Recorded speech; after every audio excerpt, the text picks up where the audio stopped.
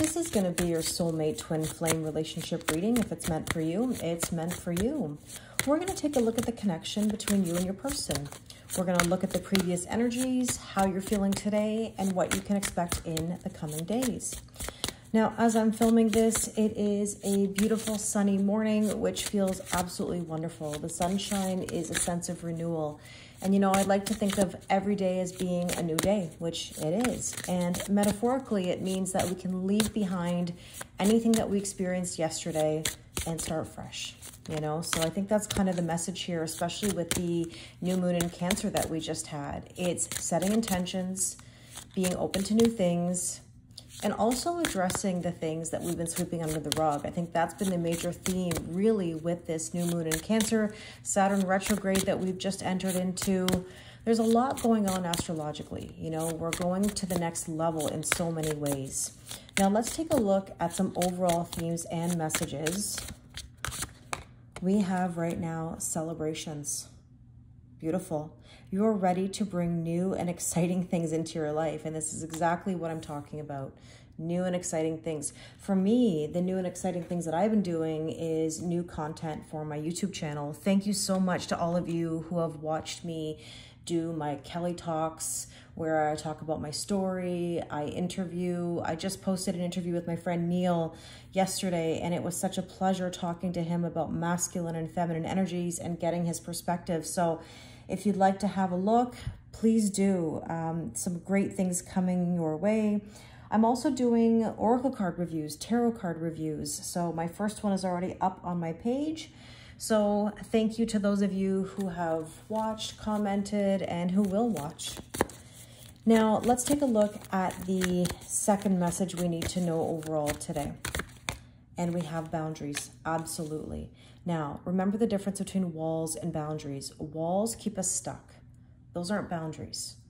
Boundaries mean you implement a line, but yet you continue your growth and your evolution. So don't confuse putting walls up because walls are not going to help you when it comes to your personal growth and evolution. In fact, it almost helps the other person. When you put walls up, it forces other people to move on versus yourself. Now let's see. Yeah, not my circus, not my monkeys. Okay, this is a card of problem ownership. Now, that's a lesson I learned very early in life from my mother, where she said, listen, if it's, if it's, you know, your problem, it's your problem. If it's not, it's not. I mean, you have to ask yourself, are you responsible for everyone else? Do you need to be responsible for everyone else? Oftentimes we feel this obligation to take care of everybody because we're pressured into this overgiving society that we're in. It's okay to say no. It's okay to make that boundary and say, I'm sorry, I don't have the capacity, or I'm sorry, I can't help you today. You know? So let's take a look at the connection between you and your person and your headspace, your person's headspace, your heart space, their heart space, overall energy and underlying energy. And of course, feel free to swap sides if it makes more sense. Now, we're going to be using the before tarot here to see the previous energies, you know, what you may have been experiencing throughout the week. And in your headspace here, we have the Nine of Pentacles. I love this. This is like preparation for feeling good in your own skin. Doing nice things for yourself. Living your authentic truth. Preparing to live your authentic truth. Taking off the mask. You know, there might have been this energy where things were heavy, emotions were heavy, you know, and all that was wanted was just peace. You know, peace from trying to overgive and overdo and convince and, and just maybe even keep a smile on your face when you didn't feel smiley, you know? So let's take a look at your person's headspace in the previous days. Ah, there's an element of coldness here. That's a card of feeling left out in the cold. And the Page of Wands is throwing caution to the wind. And it's like funny how we have cold and then hot. So there could have been some hot and cold energies in your person, meaning this is like feeling left out in the cold or like preparing, you know, for that. And then this is like preparing for the journey, preparing to throw caution to the wind. It's almost like maybe they didn't know where they were going or what they were doing, how to navigate. Now, in your heart space here, we have the Queen of Swords preparing for boundaries. This is exactly my point. Now with this, we have here these Six of Cups. You have been in a sense of nostalgia. You know, Six of Cups can be inner childhood wounds. You know, this can be the past creeping into the present. In your person's heart space, there's the, wow, there's the King of Swords right next to her. It's like you're both in preparation. The King of Swords is about truth and clarity and being logical and decisive. There is a bit of coolness here and detachment. funny, we're talking about the cold. I'm curious what the card is underneath that Page of Wands. Yeah, there's work to do. They're getting ready to do some work. They were. You know, there may have been some detachment there just for the sake of moving things forward. You know, sometimes you got to let go a little bit in order to gain something. And that's the thing people don't really understand about relationships is that we have to allow people their freedom to heal, their freedom to work on themselves, to do things a little differently. Now, overall energy here, we have the Three of Cups. And Three of Cups is a card of celebration, preparing to celebrate. Now, I do say, because this is over the boundaries card, two's company, three's a crowd. If there are boundary issues in your life, you've got to make a move, and there you go. This is Seven of Cups. Seven of Cups, yes, is dreams and illusions. Vivid dreams are, wow, um, intense right now. But this is also about not making a decision. And somebody's just not making a decision. And in theory, that's making a decision. Now, underlying energy here is the Ace of Swords, preparing for that truth, that clarity, that epiphany. And it's interesting that it's right under that Queen and King of Swords. And there's the healing, the Four of Swords. It's really an interesting energy because it feels like a bit of driving with your foot on the brake. And you know that I use that term all the time, where it feels sometimes like we're okay, go, go, go. We're healing, we're doing this, we're being more logical, whatever it is. And then at the same time, there's this fear of like, oh my gosh, what if I make a mistake? How do I make this decision? I really want to celebrate, but oh, I got these boundaries, I got this, that, and whatever. And we kind of get in our own way, you know? So let's take a look at the current energies. So in your headspace, there's the Three of Wands. Yeah, sitting on the sidelines. There's never a right time. This is saying I'll do this today, tomorrow, next week, you know, next year, whatever. There's never a right time. And the Four of Cups is overanalyzing to the point of possibly missing out on an opportunity. Now, in your person's headspace, there is the hanged man. Exactly. Things are a little bit in between right now. You know, last week on my live stream, I was saying how it feels like we're in between a full moon and a new moon, which was technically true. And now I feel like we're in between a new moon and a full moon because we have a second full moon in Capricorn happening, I believe, on July 21st. It's this, it's this, it's this like up and down kind of vibe, but we're in between. We're trying to close out the old, we're trying to start the new, but we're doing it at the exact same time, if that makes any sense. And with this, we have here the Daughter of Cups. So this is the Queen of Cups, which is basically saying trusting the intuition, you know, can't overgive. Gotta really just trust, you know. In your heart space, um, sorry, I was almost like wanting to flip that over, but it's uh, it's not. It's the Six of Cups again. So that's very prominent in your energy right now. Nostalgia, thinking about the past. How many of you are feeling nostalgic? I'm really curious. What's your word of the day or how you're feeling? And there's that Four of Swords again. So six, six, four, four. You're in the process of healing those inner childhood wounds. Now, in your person's heart space, we have here the Six of Wands, public recognition and victory. Preparing for that victory, doing the work, which is lovely. Um, but there is anxiety and worry over it all. And so this is where it's tricky. You know, the good things are coming in, but I think everybody's just anxious right now about what that looks like. Now, here's the Eight of Pentacles. There you go again, the work. Well, I always say work smart, not hard.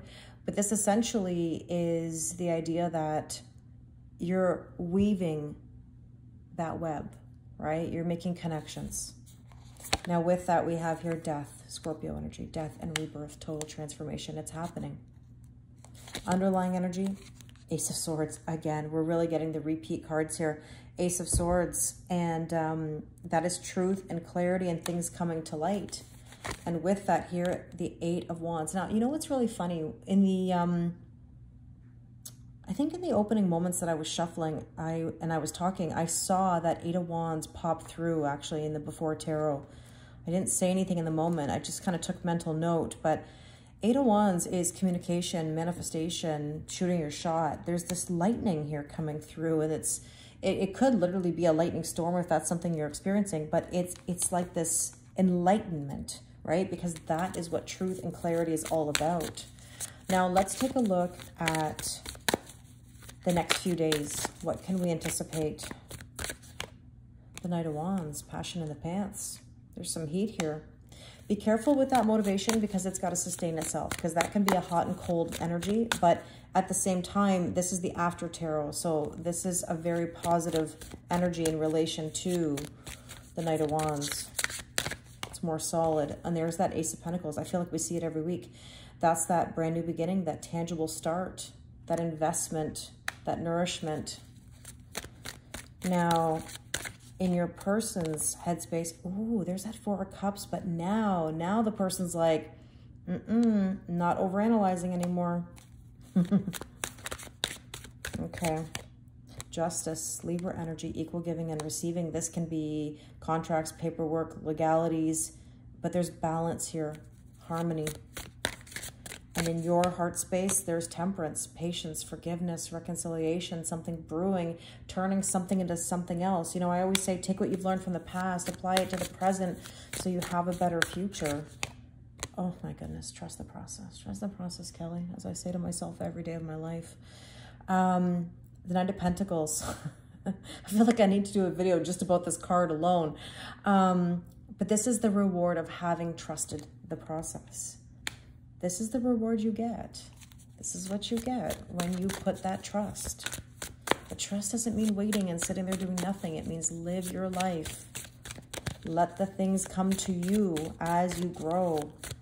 Now, in your person's heart space, there's the Page of Swords. This is like logical and decisive. Now, yeah, the Page of Swords can be spying and observing, keeping tabs.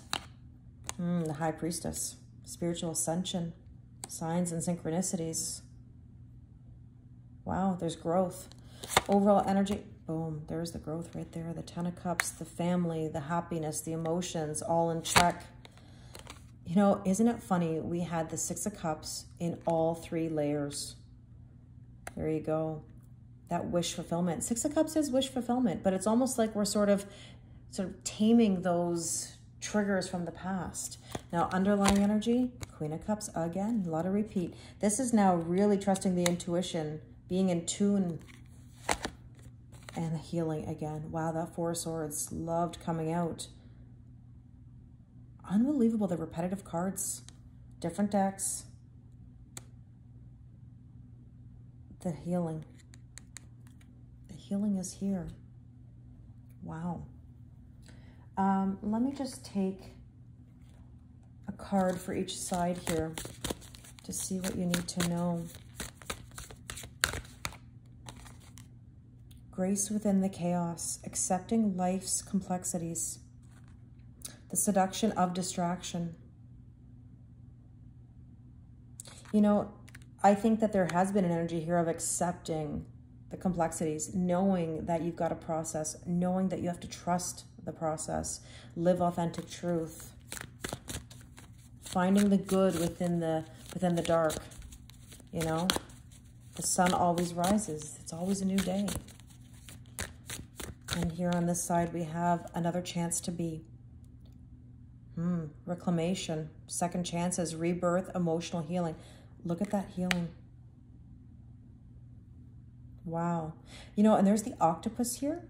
Actually, that's about embracing complexities because the octopus is a very complex creature. So actually, it's like you're accepting the complexities of your person, of the connection of yourself. There's real growth here. Wow. I really hope this resonates with you. Um, thank you as always for your kindness and support. You know, it really means the world to me with my videos and content. I love doing what I do. And if you'd like to do a personal reading with me, the link is in my bio. Thank you so much, and I wish you an amazing day.